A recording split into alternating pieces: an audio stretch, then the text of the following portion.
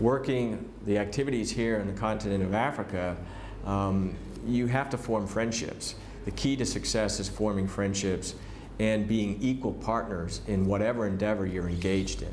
Approaching our African partners as equals in all of these activities and exercises goes a long way to forming those long-lasting relationships that will benefit all of us uh, in the future years to come.